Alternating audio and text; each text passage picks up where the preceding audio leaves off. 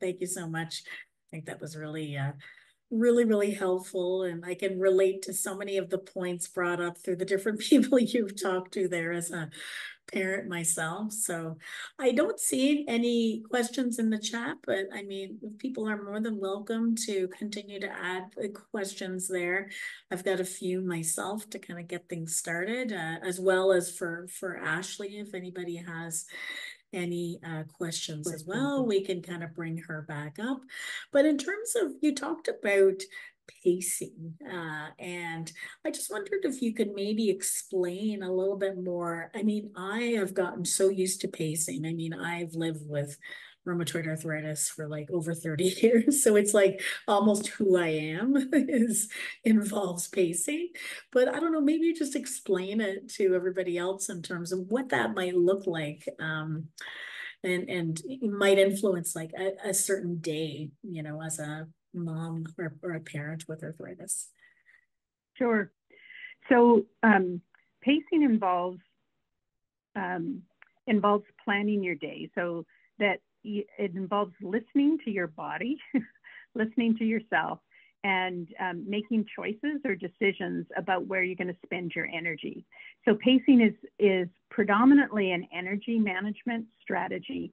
So it means um, people often talk about the four P's or the five P's, and there's probably seven, eight, or nine P's, depending on uh, what perspective um, you bring to it. But the P's include priorities. You need to know what's most important to do. Planning, so you need to know what you're going to do when um, positioning because you need to take care of your body. So often you'll have more energy at um, work if you're using, um, if you've set up your workstation to uh, accommodate your body size. So ergonomic type strategies, for example, um, or um, if you're going to be lifting and carrying children or teaching children how to crawl up onto your lap instead of picking them up and putting them on your lap. Um, so it's it's a variety of strategies so that you recognize that you do what's most important at the time of day or the day of the week where you're going to have the most energy to do what's most important, that you plan some breaks or um, rests or um, uh, physical activity or a mental break um, so that you can have a little bit of recovery time. So that helps you pace and be able to um, manage all of the things that might be part of your day or your week. Um, so um, it's part that that's why I often mention it in conjunction with balance is that you kind of you have there's always a trade-off. Um, you can't predict exactly what the day is going to be like in advance um, but you know the things that you most need to get done. And um, pacing is kind of a strategy to think about, okay, how am I how am I going to expend my energy? How am I going to choosing where to spend my energy? What's most important for it? How can I recoup um, some of that energy? Um, often this is a place where people also talk about spoon theory. um, and I don't know if um, it's worth mentioning a little bit about that, but th there's a cute cute little story um, that's now decades old because I first heard about it. Um, I've been an OT for more than 40 years, and I think I heard about it in my first five years of practice. Um, but um, you envision the, um, this handful or drawerful or bucketful of spoons, and you, all, uh, you have a finite number of them. Um, and each time you do an activity, you pull out the number of spoons to represent the energy um, that that that that that takes. And when you run out of spoons, you're done for the day. Is the very short um, version of it. Uh, but that is, you do need to think. You have a finite amount of energy, so you do need to think about how you're going to balance it, and you get to decide what's the right activities and the right amount of them, and the right variation or assortment of activities that will work for you. Yeah.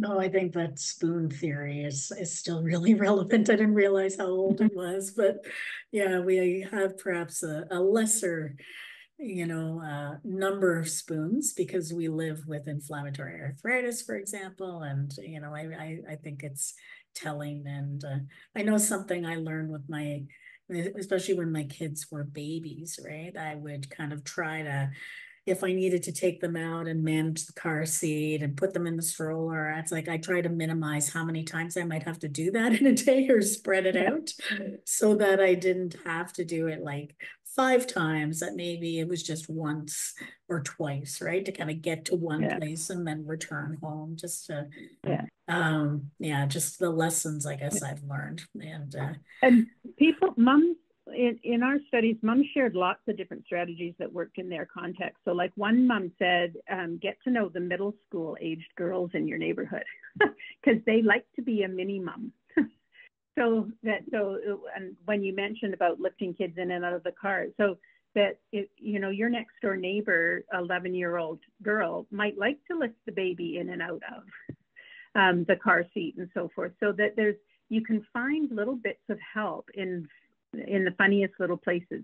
That same mom used to talk about um, she did daylight saving time whenever she needed an extra sleep. So she just turned all the clocks back an hour. She said it only works until the kids are a certain age.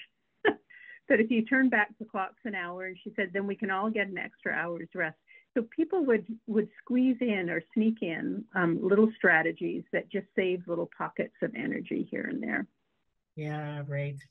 And I mean, kind of wrapping things around just some of those additional supports, right? We talked about doulas and perhaps how to access them, but occupational therapists too, or do you know, maybe just a brief explanation, can they help? Um, where can you maybe find them? And, uh, you know, particularly as it relates to parenting. And then maybe Ashley, right. you may want to comment on that too, in terms of doulas, yeah. generally speaking. Yeah. So most occupational therapists should be able to help you with strategies related to parenting or managing energy and so forth. Although there, you will be able to find some OTs who um, have worked with a lot of people with arthritis or have worked with um, parents a lot of the time, so they might have um, additional, more depth of expertise. You can find OTs in the um, outpatient departments of hospitals. You can find them in private practice. You, in Canada, you can go to the um, Canadian Association of Occupational Therapists website, caot.ca, and um, go to the link that says find an occupational therapist. So you can find them geographically. You can also find them by expertise. So you can um, type in arthritis or musculoskeletal um, diseases, for example, so you can find occupational therapists near you. Um, your physician or rheumatologist can also refer you to an occupational therapist. So um, if, if you can see an occupational therapist as an outpatient in a publicly funded system, then you uh, might find that there's a waiting list or a limited number of visits that you can have, but they wouldn't be out of pocket. Um, and if you find them in the private sector, then there would be a fee, but often extended medical, extended health plans, if you have them, have a few dollars available for um, paramedical support. And occupational therapists are often included in that group. Right. Yeah, and maybe I'll close off with you, Ashley. I know you shared a bit in terms of accessing doulas for Indigenous peoples through their community, but I don't know if you would have some perhaps general advice around accessing that kind of support? Because i can maybe see some value sort of as you're getting used to coming home and being a parent um, and adapting these tasks. I don't know. Yeah i i think my best advice would be to like connect with your social worker or um, a nurse practitioner that's on the floor if if you've just given birth to see if that's available. If you're accessing other parenting programs they probably know about doulas.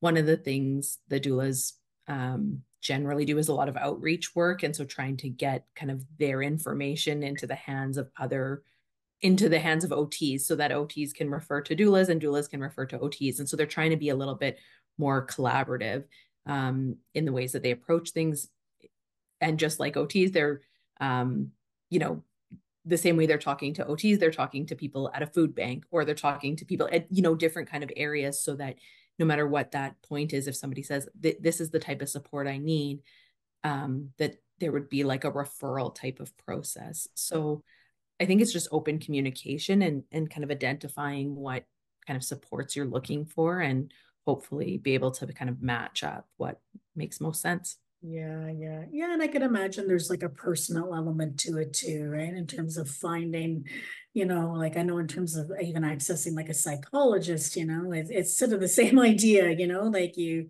feel you maybe mesh more with one person versus another. So um, it might be something to consider as well. I know I've even just kind of going back to occupational therapy, I know myself, I've accessed some supports there. I feel very lucky in the province of Ontario. We can get OTs or occupational therapists paid for free of charge through like a program through the Arthritis Society Canada. Um, but I think we're one of the few provinces and, and it usually doesn't involve a significant wait. It's some special funding I think that they've been offered through the uh, Ontario Ministry of Health. so, uh, anyways, but I think for those of you in Ontario is often a resource I suggest people go to because you don't have to pay out of pocket and they're very familiar with arthritis uh, related issues and you know are sort of more specially trained in that. So, uh, anyways, I thought I'd put that little plug in there and uh, I really appreciate you both. Uh, you know, I think it really shows just the variety of supports out there that people can access, that parenting is something that people can and should do if that's something they want to do. And uh, it's just a matter of finding the right tools and, and supports and services out there to enable you to do it to the best that you can. So it is possible. I have a 17 year old and an 11 year old, so I've managed uh, despite being diagnosed. Uh, you know, at, at, quite a young age, right? I was 14 years old. So I just hopefully we'll leave that um, on a uh, final note of, of possibility and, and, and hope for people considering that, um, you know, potentially in their future. So thank you so much, Ashley. Thank you so much, Catherine. Um, I think Preet just put an evaluation form, which I'll share afterwards um, you know, with those who've registered, even if they wish to kind of take a look at the recordings and and uh, they are most welcome to sort of evaluate as well. Um, and before I do finally uh, sign off, maybe we'll just launch that final poll um, and uh, see, yeah, Anna, if I can get you to launch that final poll, then we can see how people have done uh, before and after. And hopefully we've provided a few more parenting strategies um, to, um, you know, move uh, move ahead and, and consider that as, as you contemplate life as a parent while living with arthritis. So I do see a lot of people moved up to intermediate. So this is good to hear. They're feeling more confident in terms of the possibilities here. So, I mean, just doing a, a sort of rough uh, assessment. So I'm, I'm really glad to hear this. And uh, it'll be uploaded to our YouTube channels in the coming uh, month or so, so that if there's something that you want to go back and refer to, you can do so on your own time and at your own pace. So again, thank you so much and have a good rest of your day. Uh, and happy early Father's Day for for for for those with uh, who who identify as fathers in our audience. Thanks so much.